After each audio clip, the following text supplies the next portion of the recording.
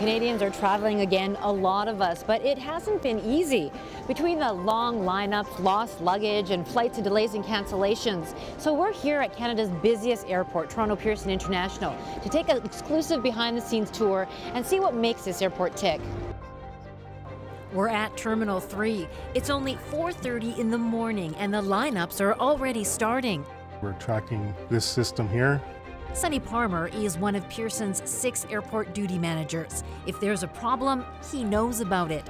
And he's already dealing with his first challenge of the day a huge snowstorm in the forecast. It is a huge responsibility. If anything goes wrong or anything happens, they report to you, they let you know about it. It can be stressful.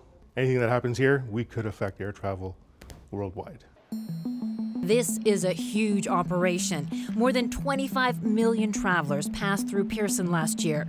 Travel ramped up quickly after COVID restrictions eased. We have contingencies in place from security events, aircraft incidences, uh, systems going down, be it uh, mechanical with baggage, IT systems. Uh, we have contingencies in place for all that.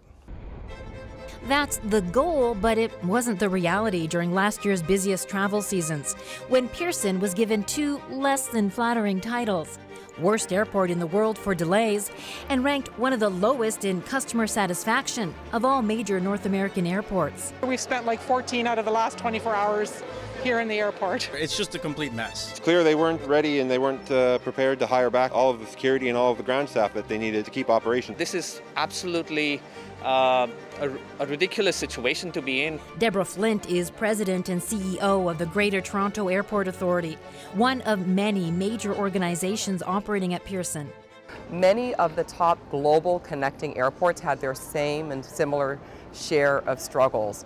Pearson was different, however, because we were the only global connecting hub that stayed shut down for as long and for as low activity as we did. So we had a very significant burden and challenge to come out of.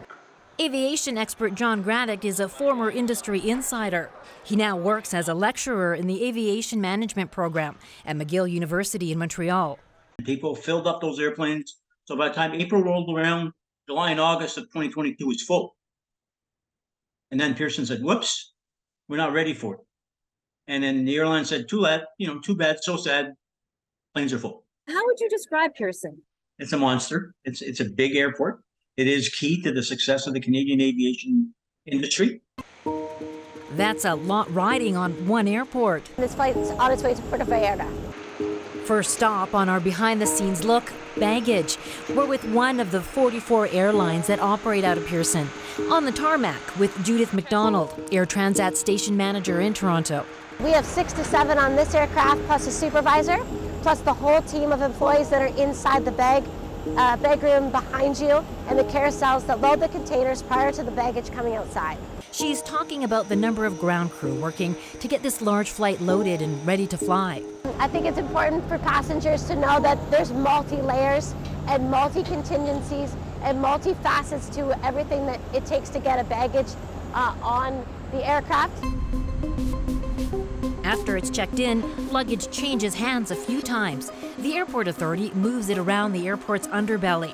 Then the Canadian Air Transport Security Authority scans the bags and does manual security checks on suspicious ones. The luggage is then handed back over to the airlines to be loaded onto the flight. At least that's what should happen. Lost baggage was a huge problem during the last busy travel seasons, ending up in piles all over the airport and leaving a lot of passengers without their belongings. There are lots of moving pieces. Jose Salamo is the Airport Authority's Director of Baggage Services.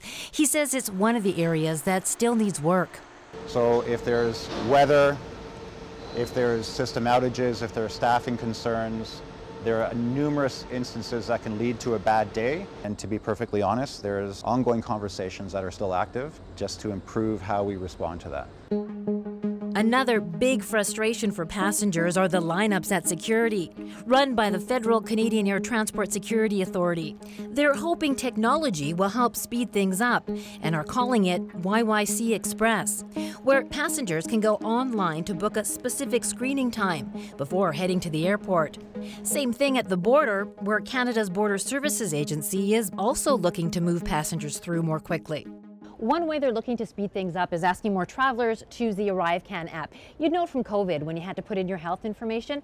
Well, you don't need to do that anymore. Now you can fill in your customs forms online. So when you get to the airport, all you need to do is get your passport out, scan it, and walk right through. Next stop, behind the scenes at Air Traffic Control, where NAV Canada, a privately run corporation, tracks the hundreds of thousands of flights that take off and land at Pearson every year. These airplanes look like they're all quite close. Is that an issue? Well, that's what we're trying to do here. So the safe separation minimums are three nautical miles lateral or a thousand feet vertical, so we can cross over and under each other. Curtis Arnold's been doing the job for more than 20 years. What's it like being an air traffic controller at Canada's busiest airport? You can't tell the airplanes to stop, right? They're moving through the air somewhere between three and six miles a minute, and it's our job to manage those aircraft as they're moving and get them lined up to land. Back on the ground, remember that big snowstorm the airport duty manager was talking about earlier? It's time to prep the equipment. Glenn Henderson's ground crew is preparing for what's to come. They've been tracking the storm for days. So it started about uh, two days ago, trying to understand how much accumulation we're going to get, when is the accumulation going to come. It's one of the biggest snowstorms of the season. So we're going to head out with a crew that's in charge of clearing the five runways. They head towards the storm, and we're going to go with them. The heavy equipment travels in formation, clearing the areas with the most snow.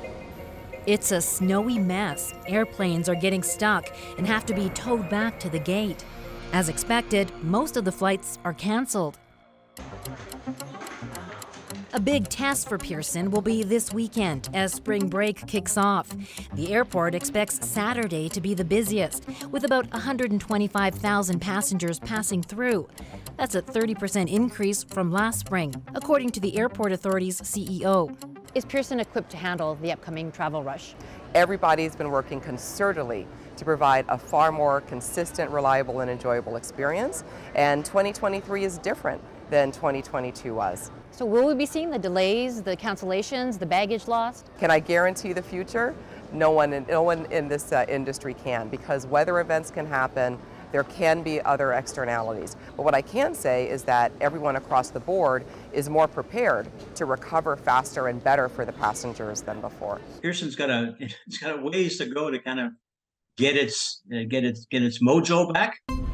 Says Pearson's biggest hurdle will be overcoming its poor reputation and regaining the trust of travelers. Rosa Marchitelli, CBC News, Toronto.